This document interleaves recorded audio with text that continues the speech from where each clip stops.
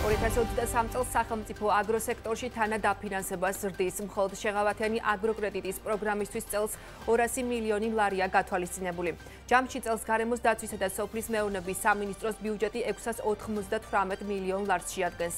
რა თანხა იქნება მიმართული წელს სოფლის განვითარების სააგენტოს პროექტებზე, რა ეფექტი აქვს თანადაფინანსების პროგრამებს და რამდენად პასუხობს სახელმწიფო პროგრამები ფერმერების წინაშე არსებულ გამოწვევებს. თემაზე საუბარს სტუმართან ერთად გავაგრძელებთ ილია თამარაშვილი სოფლის განვითარების სააგენტოს დირექტორი უპასუხებს ჩვენს კითხვებს. მოგესალმებით ბატონო ილია. ძალიან დიდი მადლობა რომ გამონახეთ რო და გსტუმრობთ სტუდიაში. პირველ რიგში მინდა გკითხოთ წელს რა იქნება სოფლის განვითარების სააგენტოს ბიუჯეტი შესაბამისად რა ფინანსური სახსრებია გათვალისწინებული იმ პროგრამებზე და პროექტებზე, რომელსაც კურირებს უშუალოდ თქვენი სააგენტო. კი ბატონო, მოგესალმებით, მივესალმებით თქვენს მაყურებელს. მოგეხსენებათ, რომ ჩვენ ყველა სისტემურ პროექტს ვაგრძელებთ.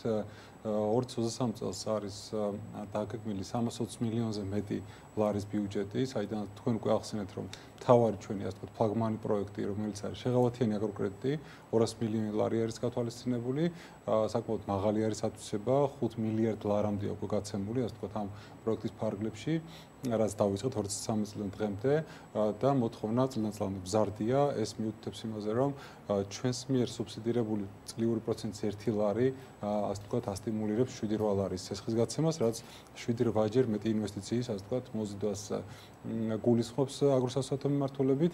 გაგრძელდება ყველა მნიშვნელოვანი პროექტი, როგორც არის დანერგიუმავალი, როგორც გახლავთ გადამამუშავებელი და შემნახველი ინფრასტრუქტურის შექმნა, სხვა სხვა საწარმოებისთვის და ბაღებისთვის ტექნიკური დახმარების გაწევა, სურსაც უნებლობის კუთხით და ხარისხის სერტიფიკატების აღების კუთხით, ბრენდირების კუთხით, ასევე გაგრძელდება სხვა სხვა მცირე ზომის, მაგრამ მდგომი პროგრამები, როგორც არის მაგალითად ბიოწარმოება, ბიოწარმოებაზე იცით თქვენ რომ ჩვენ გასულ წელს აგვისტოში ცალკე პროგრამა გავაკეთეთ, რაშიც ვეხმარებით როგორც სერტიფიცირების კუთხით, ასევე მევენახეობისა და მეფუტკრეობის კუთხით დამატებით კონვერსიის პერიოდში სხვა სხვა ხარჯებს უნაზღაურებთ. განსაკუთრებული მნიშვნელობა ალბათ მისაქცევი არის ღირებულებათა ჯაჭვში, ასე ვთქვათ, ბაღების ნაწილზე, სადაც ჩვენ 35 მილიონი გვაქვს და ენერგომავლის ნაწილში და ამ პროგრამამ შეძლო ის რომ მიწის ნაკვეთი უკვე ასე ვთქვათ მიწა 1 ჰექტარი თუ ღირდა 1000 1500 დოლარი, ახლა ღირს 10000 დოლარი სარწყავიანი, ან 6-ჯერ 7-ჯერ არის გაზრდილი ფასი, რაც ერთ-ერთი კარგი ინდიკატორი არის. დაბანდება არის გაზრდილი ან წლიან წლამდე ჰექტარობაც უფრო მეტია მოთხოვნა და ასევე თანხის ათვისებაც უფრო მაღალი არის.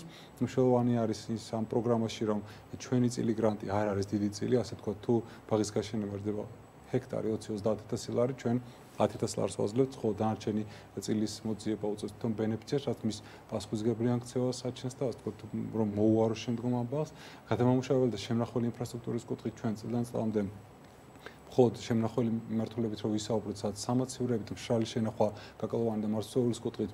2021 წელს იყო 51 საწარმო 45 საწარმო დავაკონტრაქტეთ გასულ წელს.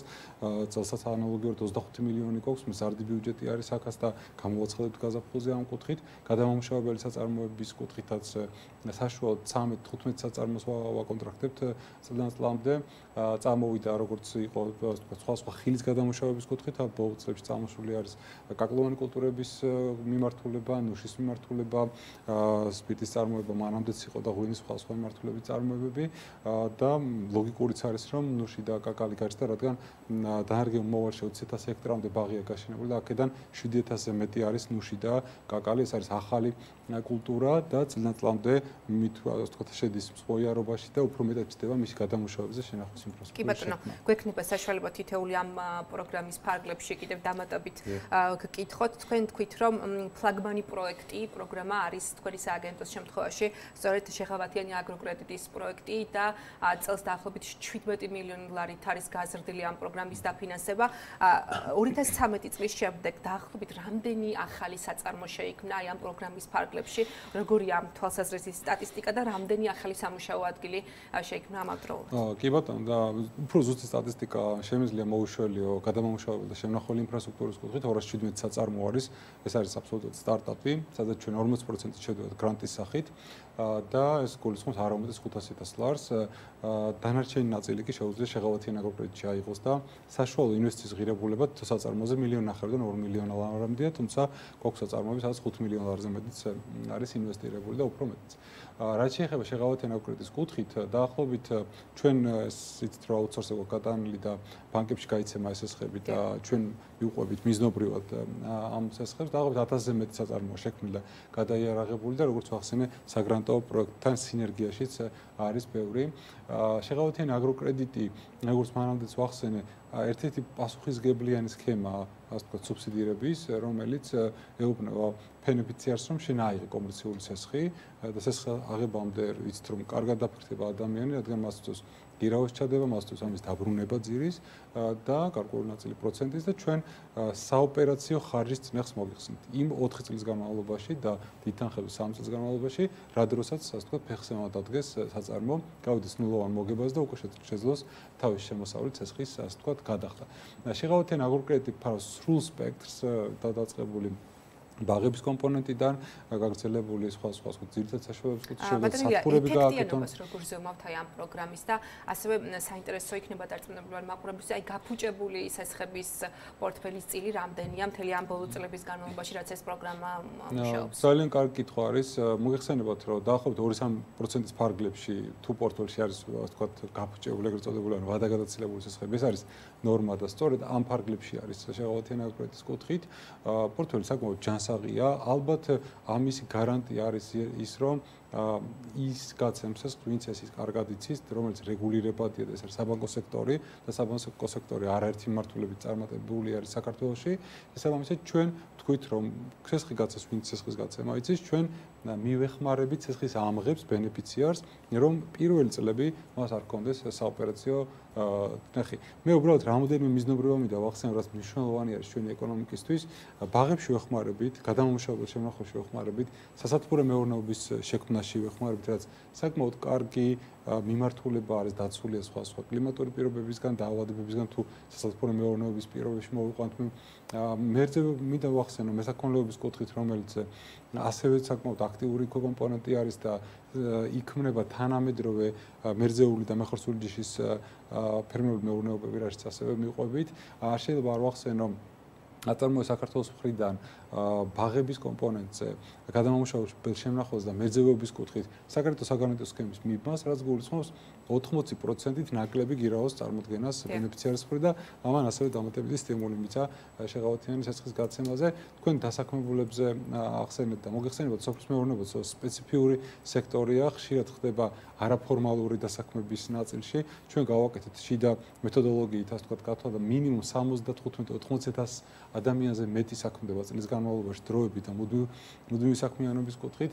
ცხადია, ჯერ იმ ეტაპზე არ ვართ, რომ მხოლოდ საშემოსავლო გადასახადის გადახდილი პირებიდან დავითვალოთ, ამიტომ გვიწევს გარკვეული მეთოდოლოგიის გამოყენება, როგორც არის მაგალითად ჰექტარზე გადაანგარიშებით მინიმუმ რამდენი ადამიანი დავასაქმოთ, რომ მის მოვლა პატრონობა შევძლოთ და ასევეა საწარმოებს და სხვა სხვა მიმართულებები. კი ბატონო, ბატონია, თქვენი სააგენტოს მართვის ქვეშ არის ასევე რამდენიმე პროგრამა, მათ შორის ეს არის არასტანდარტული ვაშლის სუბსიდირების პროგრამა, ეხლა დაგემატათ ასევე თხილის სუბსიდირების პროგრამა, რომელშიც 20 მილიონი ლარია გათვალისწინებული. ჩვენ ხშირად გვესმის და დარწმუნებულად თქვენს გესმით კრიტიკა ხოლმე აი ამ სუბსიდირების სქემასთან დაკავშირებით.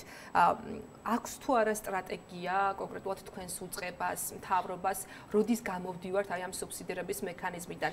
ეს ასე ვთქვათ სჭირდება თუ არა დარგს პირველ რიგში? და საბაზრო პრინციპების წინააღმდეგ ხომ არ მევდივართ ამავდროულად? და კიდევ ერთი აქცენტი რაზეც მინდა რომ გამახვილო ყურადღება ჩვენ ხშირად გვესმის მათ შორის ფერმერებისგან რომ ცოდნა არის დღეს დარგში ყველაზე დიდი პრობლემა და ხომ არ ჯობია გარკვეული თანხები თუნდაც ამ სუბსიდირებიდან გამოვყოთ რომ გავზადოთ ცოდნა კვალიფიკაცია ამ სექტორში რომ შესაძლოა აღარც დაგჭირდეს სუბსიდირება ამ სექტორების თუ შესაბამისი ცოდნა იარსებებს. კი ბატონო, კარგი კითხვა ნამდვილად სუბსიდიას სწორედაც ეგ იდეა აქვს რომ გარკვეულ ეტაპზე ვეხმარებით და შემდგომ გამოდივართ რომ დამოუკიდებლად ასე თქვა მოქმედება შეძლოს. მე ორად დავყოფდი თქვენს კითხვას. ჩვენ რადგან წვრილმიწიანი ქვეყანა ვართ და თხილის პროგრამა ახსენეთ თქვენ და ჩვენ რო ავიღოთ 51000-ზე მეტი ბენეფიციარი დარეგისტრირდა კადასტრში, სადაც 23000 ჰექტარი გამოდის. დაახლოებით უხეშად რო ავიღოთ, ეს არის 0.4 ჰექტარი საშუალო ეს უკვე დაჯერებული მონაცემებია რამდენი იღებს სახელმწიფოს ეს იანვრის ბოლოს იქნება, თუმცა დღევანდელ დღევანდელ მდგომარეობით რაც არის, რაზე მინდა აქცენტს გაკეთებ, ანუ 0.4 ჰექტარი არის 40 მიასედი, 0.25, 0.5 აი ამ ზომის მცირე მეწარმეებს ჭირდება სხვანაირი მხარდაჭერა.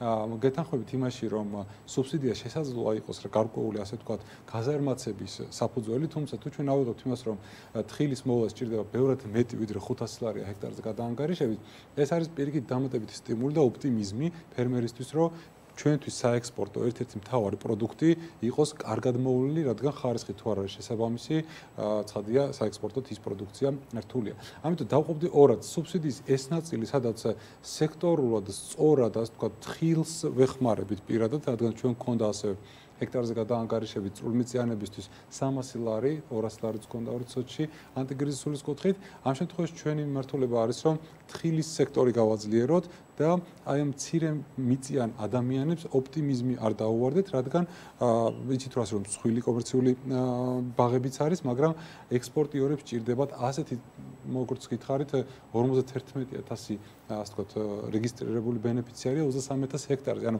წარმოიდგინეთ რომ ეს ადამიანები ექსპორტზე თვითონ ვერ გავლენ, რადგან პატარა ბაღები აქვს. ეს უნდა ჩაბარდეს ექსპორტის და ექსპორტიორებმა გაიტანოს. ამიტომ ანუ ეს არის დროებითი მექანიზმი თუ შესაძლებელია რომ გაგრძელდეს. იცით აი ამის თქმა წინასწარ ცოტა გართულდება, იგივე არის მაგალითად ვაშლის შემთხვევაში საჭიროების და მიხედვით თუ დაინახავ სახელმწიფო გარკვეულ ეტაპზე რომ სექტორი გაძლიერდა და ასე ვთქვათ ერთგვარი კონტრაქტ ფარმინგი რო ავიღოთ, ხო? ჩამბარებელი ვის ექსპორტზე გაქვს, შემოიკრებს და გააკეთებს გარკვეულ ქსელს ცირე მეწარმეების და ისინი სტაბილურად გააგრძელებენ მუშაობას, ხადია სახელმწიფო აქედან გამოვა. თუმცა კიდევ ხაზს გავუსვავ, რომ ჩვენ 100%-ით არ ვაძლევთ მოლაპატრონობის ხარჯს. რაც შეეხება ვაშლის სუბსიდირებას, აქაც გამოვყოფდი, აქ ამის თქვა დგას 20000-ზე მეტი წვრილი ასე თქვა მცირე ზომის მებაღე, რომელსაც ჩვენ მივეხმარეთ, რომ მიეტანოთ ქარხნამდე და ქარხანას გქონდა სანადლეულობაზე, რომ ეწარმოებინათ ვაშლის კონცენტრატი, რომელიც მთლიანად გერმანიაში გადის. ეს ასე თქვა მცირე სუბსიდიების კუთხით. რაც შეეხება აქეთ ავიღოთ ახლა დაერგემომავალი მაგალითად, დაერგემომავალზე სტრატეგიული ხედვა ალბათ იქნება ის, რომ სადამდე ასე თქვა რა არის მიზანი დაერგემომავლის? კულტივაცია მოხდეს ბაღის ნაკეთების. პრობლემა იყო ამ პროგრამის ფარგლებში, ისაც ვიცი. კი, ცოტნაზეც გადავალ უბრალოდ აი მინდა რომ საკონდიტი ფართობები არის. ხვილი პროექტების სუბსიდირებაზე გითხათ, ანუ სადამდე სანამდე არის მიწის კულტივაციის საჭიროება, მოთხოვნა და როგორც ხედავთ, მზარდი არის წლიდან წლამდე. აა ვფიქრობ, რომ დაერგემომავალი სწორი არის, რადგან ის არ არის 100%-ით გრანტი, ის არის 1/13 რაღაც შემთხვევაში, რაღაც შემთხვევაში 1/8 მთლიანი ინვესტიციის. ამიტომ ვფიქრობ, ეს მიზიდულობის ძალაა უფრო მეტად. შეღავათიან აგროკრედიტს ვთვლი, რომ სწორი პროგრამაა სწორია დანარჩენს, მაგრამ შეღავთინე აგროკრედიტი, ანუ ეს არის გააზრებული, რადგან პორტფელი გვაქვს ჯანსაღი, ეს არის გააზრებულად აღებული სესხი, რომელიც არის ინვესტორი ინვესტირებული აგროსასწრაფო მმართველობით. რაც შეეხება ცოდნას, ჩვენ ვიცით, რომ ცოდნა მნიშვნელოვანი არის და ცოდნით კეთება არის ძალიან მნიშვნელოვანი, ის რომ გონივრული ტექნოლოგიების კუთხით არაერთი მმართველობა დავამატეთ, ასევე დონორებთან ერთად თანამშრომლობთ და დონორებს აქვთ იმის შესაძლებლობა რომ არაერთი საერთაშორისო ექსპერტი ჩამოვიდა და არაერთი ცოდნა შემოვიდა, თუმცა ვფიქრობთ რომ არ არის ეს საკმარისი და მუშავდება და ბოლო ეტაპზე არის გასული პროგრამა, სადაც ასოციაციების გზით ჩვენ შევალთ სუბსიდირებაში, ჩვენ ვეთქვით ასოციაციებს, რომ ჩამოიყვანეთ ექსპერტი, მაგრამ არ იქნება ეს ეჯერადი და ფრაგმენტული ჩამოსვლა, ეს შესაძლოა დაახლოებით 150 დღიანი პროგრამა მაინც უნდა წარმოადგენს ასოციაციამ. ეს მიმდინარე წლის პროექტის ფარგლებში საუბრობთ აქტიური კომუნიკაციაზე. წელს გამოვიტანთ მაგ პროგრამას კი, სადაც ჩვენ ვამბობთ, რომ ჩვენ ვფიქრობთ, რომ პროაქტიულობა მნიშვნელოვანი ნებისმიერ ტიპის აქტივობაში და ასოციაცია არის გზა, სადაც უნდა მოიყაროს ცოდნა ასე ვთქვათ თავი და წევრ მეწარმეებზე გავრცელდეს და ისინი შეარჩევენ და წარმოადგენენ კანდიდატურას სხვადასხვა საერთაშორისო ექსპერტის, რომელიც გაივლის კომისიურ შემოწმებას, რის უნდა იყოს, ასე ვთქვათ, შესაბამის ბექგრაუნდი, შესაბამის გამოცდილების, შესაბამის ფირმა შეიძლება წარმოადგენს ან ინდივიდუალურად და ის უნდა ჩამოვიდეს გარკვეული გრძელვადიანი პროგრამით, რადგან მოგეხსენებათ, რომ სოფლის მეურნეობაში დაენერგიომოლის ქვეშ გაკეთდება ეს სოფლის მეურნეობაში ციკლია, ხო, დაწყებული სხლიდან, ასე ვთქვათ, კულტივაციიდან და სხვა სხვა ოპერაციები არის ჩასტარებელი იმისაც, რომ ოდნა შემოვიდეს. აი რა ფინანსური რესურსი გაქვთ გათვალისწინებული ამ ახალი პროგრამის ფარგლებში? ვფიქრობ, რომ საწყის ეტაპზე დაახლოებით საწყისი არის ხოლმე, რადგან იმდენ მნიშვნელოვანია ეს, რომ ამაზე შეიძლება მზარდი იყოს და ბიუჯეტის სპეციფიკა ეს არის, რომ ივნისში ხდება ბიუჯეტის გადახედვა და ჩვენ სულ სხვა ბიუჯეტი დავიწყოთ 2022 წელი, თუმცა შემდგომ დაემატა სხვა სხვა მიმართულების პროექტები, სხვა სხვა პროექტებში იყო რომ მზარდი მოთხოვნა და ჩვენ დაგვიმატეს, ამიტომ დავიწყოთ 500-ით და თუ იქნება მოთხოვნა, ჩვენ გვინდა რომ იყოს მოთხოვნა, რაღაც ხალხია შეიძლება იყოს მზარდი, იმიტომ რომ ცოდნა ჩვენ ვამბობთ რომ არის მნიშვნელოვანი. კი ბატონო, დარწმუნებული ვარ, მოთხოვნა იქნება, იმიტომ რომ ეს კადრების და დეფიციტი და კვალიფიკაციური კადრების განსაკუთრებით განსაკუთრებით სოფლიო. კი და რაც ყველაზე მნიშვნელოვანია, მნიშვნელოვანია ერთად მუშაობას მიეჩვიონ და ძალიან ბევრი წასი აკეთებს და ასოციაცია არის ის გზა, რომელშიც უნდა ყველა გაწევრენ, იქ უნდა მოიყაროს ცოდნა, უფრო მეც გეტყვით, ჩვენ მექანიზაციის არაერთი პროექტი გვაქვს, მოსავლის სამღების შემთხვევაში არის მოსავლის სამღები, რომელიც ძალიან ძვირია და შეიძლება ერთმა ადამიანმა ვერ იყიდოს. შესაძლოა კოოპერატივის არ შექმნას, მაგრამ ეს იყიდოს ასოციაციამ და წევრ გამოყენებას. როგორც ცოდნა, ასევე მე რა თქმა უნდა სხვა სხვა აქტივი შეიძლება იქნეს გუნდურად შექმნილი და გამოყენებული. ამიტომ ვფიქრობთ, რომ აკუთხით ეს კი ბატონო, საინტერესო ინიციატივებია და დარწმუნებული ვარ, რომ ექნება გამოხმაურება. ძალიან დიდი მადლობა მინდა გითხრათ სტუმრობისთვის. მაყურებელს შევახსენებ, რომ ილია თამარაშვილი სოფლის განვითარების სააგენტოს ხელმძღვანელი იყო. ჩვენი სტუმარი